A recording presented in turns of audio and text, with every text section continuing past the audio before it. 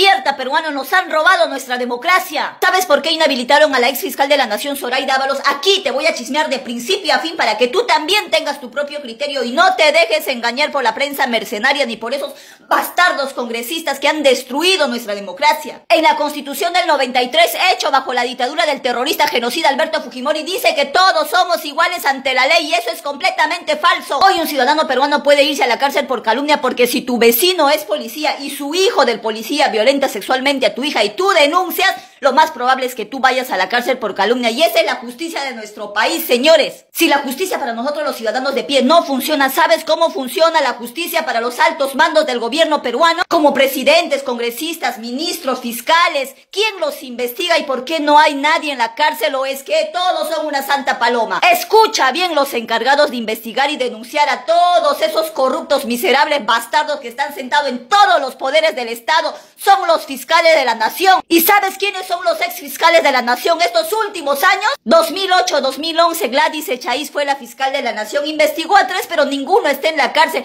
Ella archivó la denuncia constitucional en contra de Alan García por el caso Petroaudio. Del 2011 al 2014 José Antonio Peláez Bardales fue el fiscal de la nación e investigó solo a uno. Después tenemos a Carlos Ramos Heredia, sucesor de Peláez. Él investigó a un miserable, pero sí se dedicó a frenar las investigaciones en contra de todos los responsables de la muerte de la discoteca Utopía. También fue el encargado de archivar la denuncia en contra de los narcotraficantes Sánchez Paredes. Después tenemos a Pablo Sánchez Velarde. Él investigó a tres corruptos, pero eso sí, no quiso que avancen las investigaciones por el caso Odebrecht, Lavajato, ahí donde están involucrados todos nuestros políticos de miércoles, que hasta ahora se está investigando, señores. ¿ah? Y también fue el encargado de archivar el caso Chincheros, donde estaba involucrado Martín Vizcarra y la ex viceministra ladrona Fiorella Molinelli, esa que compró mascarillas y lentes sobrevaloradas en plena pandemia, que hasta ahora están todos libres. Y los fiscales, digo yo, ¿dónde están o dónde estaban? Y después llegó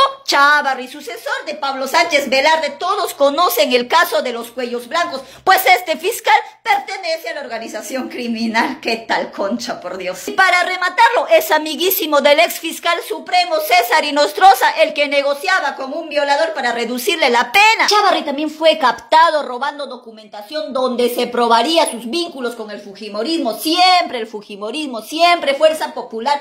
Ellos son el cáncer de nuestro país y están enquistados en todos los poderes del Estado y si siguen ellos al poder, jamás vamos a tener democracia ni justicia para ningún peruano. Recapitulemos todo entonces para que te la tengas clarita. Gladys Echaíz en el 2018 investigó a tres y ninguno está en la cárcel. José Antonio Peláez investigó a uno y tampoco no hay ninguno en la cárcel. Pablo Sánchez investigó a tres y ninguno está en la cárcel. Y González Chávez investigó a dos y tampoco ninguno en la cárcel. Entonces, estos jueces de pacotilla desde el 2008 investigaron a nueve corruptos y ninguno está en la cárcel hasta la llegada de Zoraida Ábalos que investigó a más de 40 corruptos. Así es, Zoraida Ábalos investigó a más de 40 corruptos que tienen altos mandos en el gobierno peruano. Y es por eso que la inhabilitaron, señores. No hay otra explicación más. La inhabilitaron porque investigó a todos esos corruptos. Porque si acá tú investigas y te metes con los amiguísimos del Congreso, te inhabilitan porque ellos tienen hoy por hoy el control de todos los poderes del Estado. Ellos son los terroristas en la actualidad. Cuando inhabilitaron a Zoraida Ábalos no te dijeron que ella investigó a más de 40 corruptos, ¿verdad? Porque la prensa mercenaria junto a sus periódicos chichas se encargaron de decirte que inhabilitaron a Zoraida Ábalos por lenta.